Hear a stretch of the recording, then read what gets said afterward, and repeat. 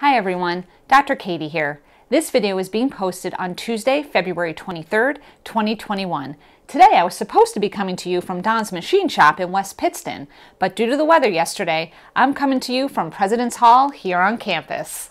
We are now in the sixth week of the spring semester.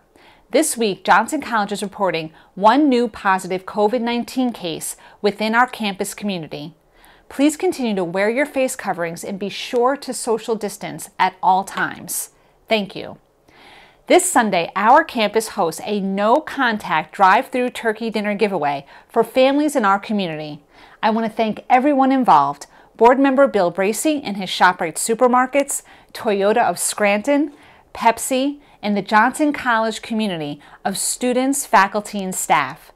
This event showcases our mission to prepare students for hands-on in-demand careers in essential industries and also to be essential contributing members of their communities. Way to go, everyone. I'm looking forward to an amazing Sunday of giving back to our community. In response to the global COVID-19 pandemic, the U.S. government has enacted the Higher Education Emergency Relief Fund 2. Part of this fund will provide federally supported financial aid for students impacted by the pandemic. I'm excited to let you know that Johnson College has received this funding and will provide the funds to students directly.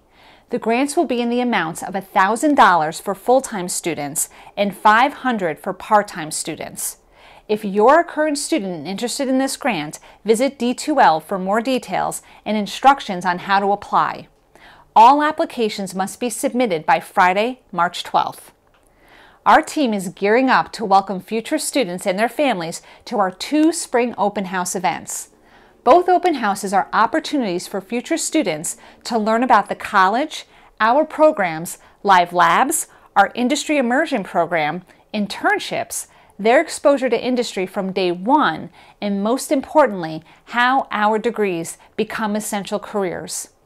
Our first open house of the spring will be held virtually via Zoom on Tuesday, March 16th at 6 p.m. The second spring open house will be in person on campus on Saturday, March 27th. All Pennsylvania social distancing and sanitation guidelines will be followed, and face coverings must be worn at all times while on campus. Interested students must register to attend either open house event at johnson.edu slash open house. I hope to see many new faces on campus and via Zoom.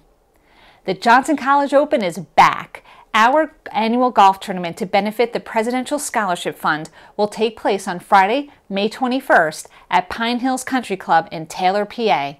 Thank you to Gerrity's Supermarkets for once again being their Open's presenting sponsor, a position they've held since 2013. If you or your business would like to participate as sponsors or golfers, please contact Michelle Newberry at mnewberry at johnson.edu. Golf season can't get here fast enough.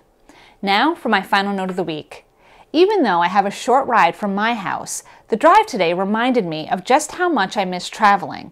One of my best trips before the pandemic was to New Orleans, Louisiana. It had always been on my list of cities I wanted to visit, and now I can't wait to go back.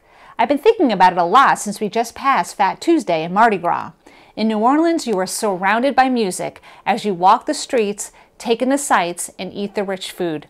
And in true New Orleans fashion, they have not let the pandemic ruin the Mardi Gras celebration. Instead of the elaborate floats we typically see, residents went all out and decorated their houses. Go online and check it out. It will bring a smile to your face. That's it for this week's presidential update video from President's Hall. Thank you for watching. Stay safe, be well, and have a great week.